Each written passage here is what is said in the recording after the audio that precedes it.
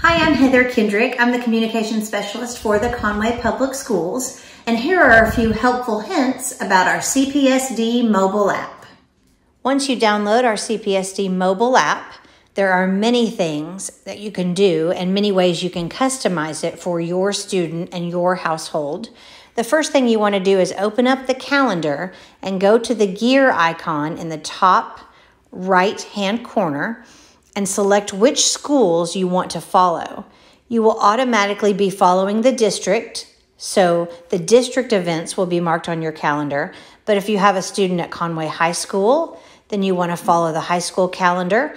Also, if you're interested in athletic events, you can follow the athletics calendar or music. That's for band, orchestra, or choir. The Counseling Center also has their own calendar at the high school for events such as ACT testing deadlines and that sort of thing.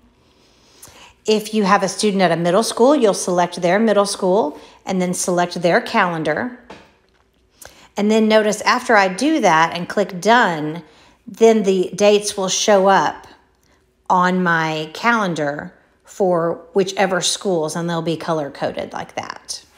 Then you're going to go to notifications and you're going to do the same thing. Notice the district notifications. Again, you are defaulted to automatically having those. But then when you go to the gear icon in the top right hand corner, you can click notifications for whichever school, the high school, any middle school, junior high, elementary schools. And once you click done, then when you refresh, you will have notifications for those schools. There's the high school, Julia Lee Moore, Ida Burns. And you can change these whenever you need to. So if you want to follow Ida Burns Elementary, if you're a community member, just for a little bit, and then you can go back and change it again, it will update with you. Other than those customized notifications, there are other things that are really helpful on our mobile app. Here's a directory with school information. It has all of the website, phone number, address, things that you would need. And then it also has a list, list of staff members and email addresses, one touch email, where you can send them an email message if you need to.